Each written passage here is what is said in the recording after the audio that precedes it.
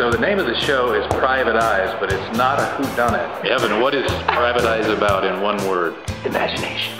It's not a murder mystery. And it's not about, you know, people running around like bobbies with, uh, Katie, what's Private Eyes about in one word?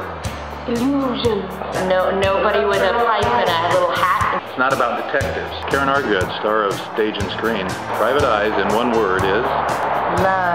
Yeah, and even though it's called Private Eyes, nobody wears a hat like this. Roy, what is Private Eyes about in one word or less? A psychiatrist. That's two words. and also, it has nothing to do with the Hall & Oates hit from the early 80s. So I'm not sure why this music is playing.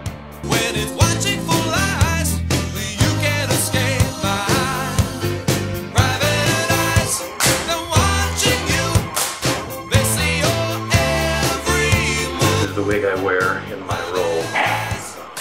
Sort of the, you know, the Geico caveman thing? A little bit. My wig. Sort of. I just like wearing it.